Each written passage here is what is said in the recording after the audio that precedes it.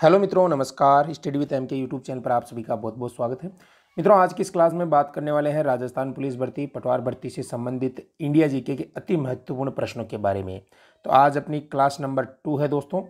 Class number first पहले upload हो चुकी है, अगर आपने नहीं देखी तो जाके आप देख सकते हो। और दोस्तों, जिन्होंने अभी तक चैनल को सब्सक्राइब नहीं कर रखा है, नीचे लाल कलर का बटन है, उसे दबाकर चैनल को ज़रूर सब्सक्राइब कर लीजिए, ताकि आपको डेली लाइव क्लास मिलती रहे। वीडियो में आगे बढ़ने से पहले दोस्तों, आपको महत्वपूर्ण जानकारी देना चाहता हूँ। अगर आप किसी भी कंपटीशन एग्ज़ाम की तैयारी कर रहे हो तो आप Unacademy learning app download करके वहाँ पर आप अपनी तैयारी जारी रख सकते हो। क्योंकि दोस्तों, वहाँ पर आपको दी जाती है इंडिया के टॉप एजुकेटर द्वारा बेहतरीन लाइव क्लासें तो अभी अन अकेडमी ऐप डाउनलोड करके वहाँ पर अपनी तैयारी जारी रखिए। और दोस्तों, वहाँ पर प्लस का सब्सक्रिप्शन अगर आप लेते हो तो आपको टेन परसेंट छूट मिलेगी अगर आप मेरे रेफरल कोड का यूज़ करते हो तो। तो मित्रों स्टार्ट करते हैं। पहला प्रश्न आपके सामने। हड़प्पा सभ्यता किस काल से संबंधित थी? कमेंट करके आप सभी को आंसर बताना है। सभी का बहुत बहुत स्वागत है दोस्तों। डेली अपनी लाइव क्लास रहती है नौ बजे। तो प्रश्न नंबर एक का सही उत्तर क्या हो जाएगा दोस्तों? जी, बिल्कुल ऑप्शन नंबर यहाँ पर सी राइट हो जाएगा। कांस्य युग से संबंधित है हड़प्पा सभ्यता। बिल्कुल बहुत बढ़िया, सभी के यहाँ पर राइट आंसर आ रहे हैं। क्वेश्चन नंबर दो की बात की जाए दोस्तों, गौतम बुद्ध किस कुल के थे? इंपॉर्टेंट प्रश्न है ये भी। तो बराबर से आंसर कमेंट कर दीजिए। बहुत बढ़िया। वेरी गुड दोस्तों। जी, बिल्कुल राम किशोर, संजय, राहुल, बहुत बढ़िया। तो ऑप्शन नंबर दोस्तों बी का दो का बी हो जाएगा। सक्य कुल से संबंधित थे। क्वेश्चन नंबर तीन की तरफ़ चलते हैं। वह शासक कौन था जिसने राज सिंहासन पर बैठने के लिए अपने पिता बिंदुसार की हत्या की थी? ये भी इंपॉर्टेंट प्रश्न है भाई। एग्ज़ाम में कई बार ये प्रश्न आ चुका है। तो फटाफट से कमेंट कर दीजिए सभी। बहुत बढ़िया दोस्तों वेरी गुड जी, बिल्कुल, कल्पना, सुरेंद्र, अमित अंजराज बहुत बढ़िया। तो तीन का राइट आंसर क्या हो जाएगा मित्रों? ऑप्शन नंबर ए यहाँ पर राइट हो जाएगा, अशोक। अगला प्रश्न है मित्रों क्वेश्चन नंबर चार, निम्नलिखित में से कौन सी एक प्रार्थना समाज की मांग नहीं थी भाई? बहुत इंपॉर्टेंट प्रश्न है ये। प्रार्थना समाज की जो मांग थी, इनमें से कौन सी नहीं थी? ये आपको बताना है कमेंट करके। जी, बिल्कुल, फटाफट से कमेंट कर दीजिए सभी मित्र। बहुत बढ़िया दोस्तों, लाजवाब आपके सही आंसर आ रहे हैं यहाँ पर। तो चार का राइट आंसर हो जाएगा ऑप्शन नंबर डी अप्रियता का अंत। पाँच नंबर प्रश्न की तरफ़ आगे बढ़ते हैं। हरमिट ऑफ़ शिमला किसे कहा जाता है? यह भी इंपॉर्टेंट प्रश्न है भाई। हरमिट ऑफ़ शिमला किसे कहा जाता है? आपने पढ़ा होगा दोस्तों इलेवन ट्वेल्थ में। कई बार इनका नाम आया है। तो बिल्कुल ऑप्शन नंबर सी राइट हो जाएगा। ए ओ ह्यूम इन्होंने कांग्रेस की भी स्थापना की थी दोस्तों। तो कमेंट करके जल्दी बताइएगा कब की थी कांग्रेस की स्थापना। क्वेश्चन नंबर छः आ रहा है दोस्तों। निम्नलिखित में से किसने भारतीय राष्ट्रीय कांग्रेस के कराची अधिवेशन 1931 की अध्यक्षता की थी? वेरी वेरी इंपॉर्टेंट है। यानी भारतीय राष्ट्रीय कांग्रेस के अधिवेशन की अध्यक्षता किसने की थी? ये बताना है क्वेश्चन नंबर छः में। जी, बिल्कुल। तो लोह पुरुष हो जाएगा दोस्तों। Option number D Sardar Vallabh Bhai Patel ने। सात नंबर प्रश्न की तरफ़ चलते हैं मित्रों। साइमन कमीशन भारत में किस उद्देश्य से आया था? वेरी वेरी इंपॉर्टेंट क्वेश्चन अति महत्वपूर्ण प्रश्न है ये। तो सात का राइट आंसर क्या हो जाएगा यहाँ पर? जल्दी बता दीजिए सभी कमेंट करके। जी, बिल्कुल ऑप्शन नंबर यहाँ पर ए राइट हो जाएगा मित्रों। प्रशासनिक सुधार पर विचार के लिए आया था कौन? साइमन कमीशन भारत में। अगला प्रश्न है दोस्तों 1911 ईस्वी ईस्वी में जब राजधानी कोलकाता से दिल्ली लाई गई थी, उस समय भारत का वायसराय कौन था? फटाफट से आंसर कर दीजिए आठ नंबर का। बहुत बढ़िया। राहुल, देव, राजेंद्र गणेश, बहुत बढ़िया। जी, बिल्कुल, आठ का सही आंसर आ रहा है आप सभी का। तो आठ का राइट आंसर हो जाएगा डी लार्ड हॉर्डिंग। और जिन्होंने अभी तक दोस्तों चैनल को सब्सक्राइब नहीं कर रखा है, सब्सक्राइब कर लीजिए। निम्नलिखित में से किसने वॉइस ऑफ़ इंडिया नामक समाचार पत्र प्रारंभ किया था? इंपॉर्टेंट प्रश्न है दोस्तों, एक से बढ़कर एक प्रश्न है सभी। हंड्रेड परसेंट आपके एग्ज़ाम में पूछे जाएँगे। चाहे राजस्थान पुलिस का एग्ज़ाम हो, पटवार का हो, दोनों एग्ज़ाम की दृष्टि से अति महत्वपूर्ण प्रश्न है। तो नौ का बी हो जाएगा दादा भाई नवरोजी, जिसे क्या कहा जाता है? ओल्ड मैन कहा जाता है, ठीक है? प्रश्न नंबर दस की बात की जाए, भारतीय स्वतंत्रता संघर्ष के दौरान निम्नलिखित में से किसने फ्री इंडियन लीजन नामक सेना बनाई थी? फ्री इंडियन लीजन नामक सेना बनाई थी। किसने बनाई थी? जी, बिल्कुल। ऑप्शन नंबर सी आ रहा है आप सभी की तरफ़ से, राइट आंसर सुभाष चंद्र बोस ने। वेरी गुड दोस्तों। अगला प्रश्न है, आंतरिक ऊर्जा किसमें सम्मिलित नहीं होती है? यह भी इंपॉर्टेंट प्रश्न है भाई, ग्यारह नंबर। दोस्तों, मैं आपको बताना चाहता हूँ, इस लाइव क्लास के अंदर आपको मैं जो इंडिया जीके के प्रश्न आपके राजस्थान पुलिस में, पटवार में पूछे जाएँगे हु बहु उसी पैटर्न पे इंपॉर्टेंट प्रश्न लेकर आया हूँ। तो सभी सब्जेक्ट इसमें इंक्लूड कर रखे हैं, चाहे वो हिस्ट्री हो पॉलिटिकल साइंस हो आर्ट कल्चर हो करंट अफेयर्स हो, सारे आपको यहाँ पर मिलने वाले हैं। तो ग्यारह का राइट आंसर हो जाएगा नाभिकीय ऊर्जा में, ठीक है? बारह नंबर प्रश्न आ रहा है, ध्वनि की चाल अधिकतम किसमें होती है? सबसे ज़्यादा जो ध्वनि की चाल होती है वो किसमें होती है? ये बताना आप सभी को। बारह का राइट आंसर वेरी गुड तो दोस्तों, इस बात में होती है सबसे ज़्यादा ध्वनि की चाल। ठीक है? प्रश्न नंबर तेरह की बात की जाए, देख सकते हो दोस्तों नाभिकीय रिएक्टर में भारी पानी का प्रयोग किस रूप में होता है? भारी पानी। भारी पानी का सूत्र किसको याद है भाई? कमेंट करके बताइएगा जल्दी। ये भी प्रश्न कई बार एग्ज़ाम में बनता है दोस्तों। तो वेरी गुड दोस्तों D two O D two O भारी पानी का सूत्र है ये। तो दोस्तों, तेरह का राइट आंसर हो जाएगा। ऑप्शन नंबर डी विबंधक के रूप में प्रयोग किया जाता है। वेरी गुड प्रश्न नंबर चौदह आ रहा है, निम्न, निम्नलिखित में से कौन सा रोग विषाणु के कारण नहीं होता है? ये ध्यान रखना है। विषाणु के कारण नहीं होता है। यहाँ पर जो लैंग्वेज दे रखी है, इसको ध्यान से पढ़ना है। विषाणु यानी वायरस के कारण नहीं होता है भाई। जी तो चौदह का हो जाएगा हैजा। ये वायरस के कारण नहीं होता है दोस्तों, ये बैक्टीरिया के कारण होता है। बैक्टीरिया मतलब जीवाणु के कारण। वेरी गुड पंद्रह नंबर प्रश्न आ रहा है, लार ग्रंथियों के द्वारा निम्नलिखित में से कौन सा एंजाइम उत्पादित होता है? लार ग्रंथियों के द्वारा निम्नलिखित में से कौन सा एंजाइम उत्पादित होता है? तो वेरी गुड दोस्तों, बहुत बढ़िया। जी जी, बिल्कुल। तो ऑप्शन नंबर बी हो जाएगा टाइलिन प्रश्न नंबर सोलह की तरफ़ चलते हैं। निम्नलिखित में से किस एक जंतु में त्वचा एक श्वसन अंग है? अति महत्वपूर्ण प्रश्न है भाई। त्वचा से वो सांस लेता है तो कौन सा जंतु है वो? फटाफट से बता दीजिए इसका राइट आंसर जी, काकरोच, मेंढक, सार्क या उपरोक्त सभी। दोस्तों, पंद्रह से बीस मिनट में आपको यहाँ पर थर्टी फाइव प्रश्न है जो कंप्लीट हो जाएँगे आपके। तो आराम से आप आंसर देते रहिए। जी, बिल्कुल ऑप्शन नंबर बी हो जाएगा मेंढक, ठीक है? प्रश्न नंबर सत्रह की तरफ़ चलते हैं। भूपृष्ठ में सर्वाधिक प्रचुर मात्रा में कौन सा तत्व है? यानी जो भूपृष्ठ है, उसमें सबसे ज़्यादा कौन सा तत्व पाया जाता है? तो सत्रह का राइट आंसर बता दीजिएगा सभी। बहुत बढ़िया। ऑक्सीजन, ऑप्शन नंबर ए यहाँ पर राइट हो जाएगा। प्रश्न नंबर उन्नीस की तरफ़ चलते हैं प्यारे मित्रों। निम्नलिखित में से कौन सी पर्वत श्रेणी केवल एक ही राज्य में फैली हुई है? ठीक है, ये अति महत्वपूर्ण प्रश्न है दोस्तों। एक ही राज्य के अंदर वो पर्वत श्रेणी फैली है, उसका आपको नाम बताना है। और इसी प्रकार के प्रश्न दोस्तों आपके राजस्थान पुलिस पटवार एग्ज़ाम में ज़रूर पूछे जाएँगे। तो अट्ठारह का आप कमेंट कर दीजिए। तो उससे हो जाएगा अजंता। ठीक है प्रश्न नंबर उन्नीस आ रहा है। प्रायद्वीपीय भारत की सबसे बड़ी नदी कौन सी है? जी, रिवर का प्रश्न आ गया, इंपॉर्टेंट प्रश्न है।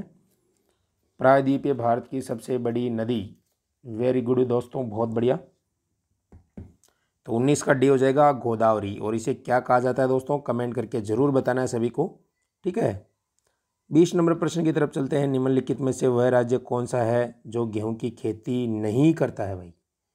ठीक है, नहीं पे ज़्यादा ज़ोर लगाना। कई बार क्या होता है कि एग्ज़ाम में आप प्रश्न को अच्छे तरीके से नहीं पढ़ पाते हो और समझ लेते हो कि कौन सा राज्य गेहूँ की खेती करता है। ठीक है? तो इस प्रकार ध्यान रखना चाहिए आपको। तो डी हो जाएगा तमिलनाडु। ठीक है? प्रश्न नंबर इक्कीस है, विश्व का सर्वोत्तम किस्म का अब्रक कहाँ से प्राप्त होता है? अब्रक। बता दीजिए भाई, विश्व की बात की जा रही है। राजस्थान में भी आपको पता होना चाहिए, राजस्थान पुलिस का एग्ज़ाम दे रहे हो तो अब्रक की ईटियाँ कहाँ बनाई जाती है? बिल्कुल, बहुत बढ़िया, कमेंट करके आंसर बताना सभी को। तो इसका भी हो जाएगा हजारीबाग। जी, बिल्कुल आंसर आ चुका है मेरे पास। भीलवाड़ा ज़िले में बनाई जाती है अब्रक की ईटें, ठीक है? बाईस नंबर प्रश्न, निम्नलिखित में से किसे लोकसभा का अभिरक्षक कहा जाता है? लोकसभा का अभिरक्षक किसे कहा जाता है, प्यारे मित्रों? बाईस का तुरंत आंसर दे दीजिए सभी। तो वेरी गुड दोस्तों, लोकसभा अध्यक्ष को कहा जाता है। अभी प्रेजेंट में कौन है अपने लोकसभा अध्यक्ष? कमेंट कीजिए फटाफट से। बहुत बढ़िया। ओम बिरला जी अभी प्रेजेंट में लोकसभा अध्यक्ष है और कहाँ से आते हैं ये? राजस्थान के कोटा और बूंदी। ध्यान रखना है, दो ज़िले हैं। कोटा और बूंदी जो संसदीय क्षेत्र है इनका, वहाँ से आते हैं। यानी इन दोनों की लोकसभा एक ही है दोस्तों, ये ध्यान रखना आपको। ठीक है? चलिएगा। तेईस नंबर प्रश्न की बात की जाए, उच्च न्यायालय का न्यायाधीश अपना त्यागपत्र किसे संबोधित करता है? उच्च न्यायालय का न्यायाधीश अपना त्यागपत्र किसे संबोधित करता है? जी, बिल्कुल दोस्तों, राष्ट्रपति को करता है, ठीक है? चलिए, चौबीस नंबर प्रश्न की तरफ़ अपन चल रहे हैं। राज्य की विधान परिषद के कितने सदस्य विधानसभा द्वारा चुने जाते हैं? ये अति महत्वपूर्ण प्रश्न भाई। फटाफट कमेंट कर दीजिए इसका।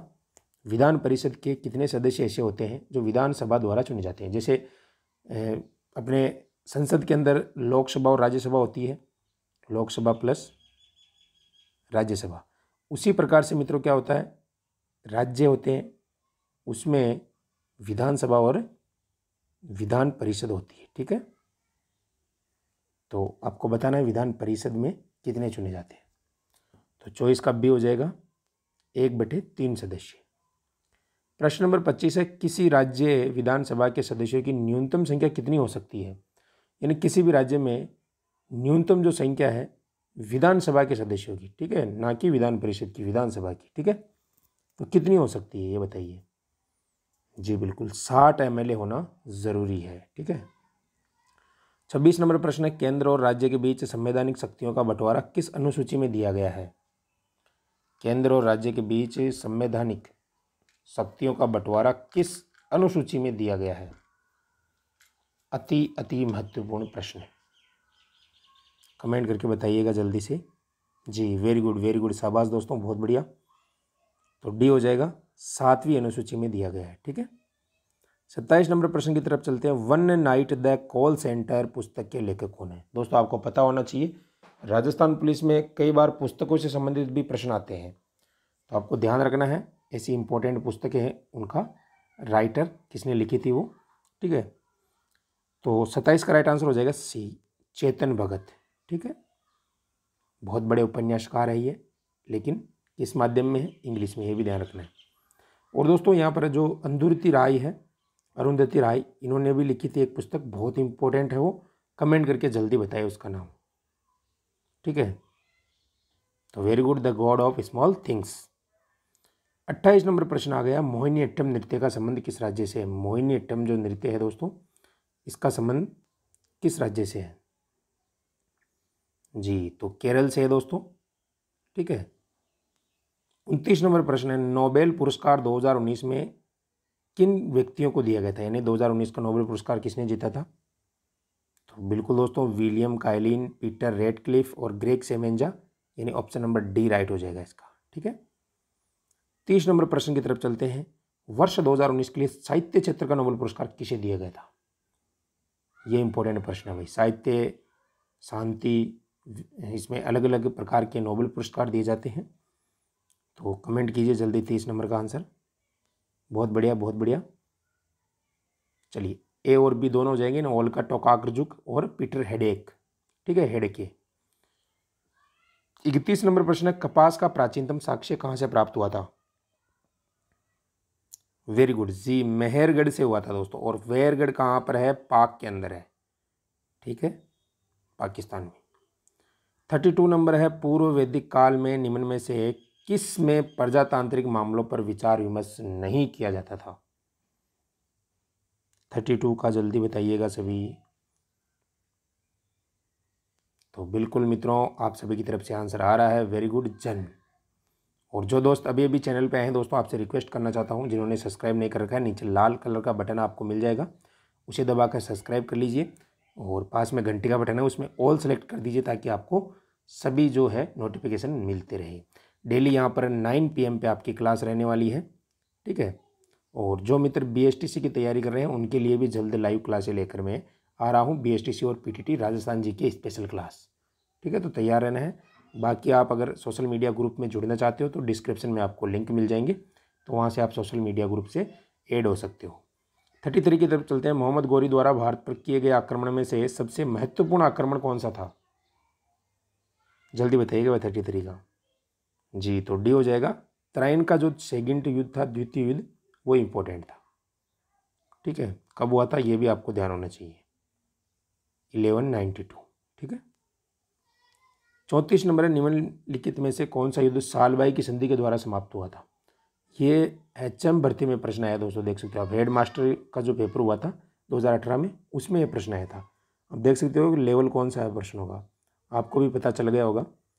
तो प्रथम मराठा युद्ध हो जाएगा option number A thirty five की तरफ़ चलते हैं। भारत में सिविल सेवाओं का सूत्रपात किसके द्वारा किया गया था? जो सिविल सेवाएँ होती है अपनी दोस्तों आईएएस वगैरह, ठीक है आईपीएस वगैरह तो इन सेवाओं का जो सूत्रपात है इन्हें इसकी शुरुआत किसने की थी?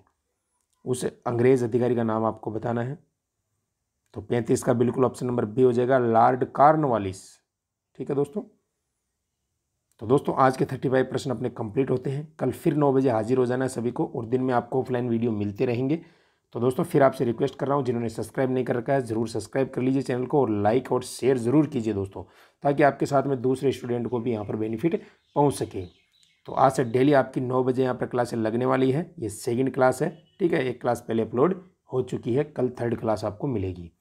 तो ठीक है दोस्तों, मिलते हैं नई क्लास के साथ में। तब तक के लिए मुझे दीजिए इजाज़त। थैंक यू धन्यवाद। और आपके अगर कोई सवाल हो दोस्तों, किस टॉपिक पे, किस सब्जेक्ट के आप वीडियो चाहते हो तो कमेंट बॉक्स में ज़रूर अपनी राय दीजिएगा। थैंक यू धन्यवाद.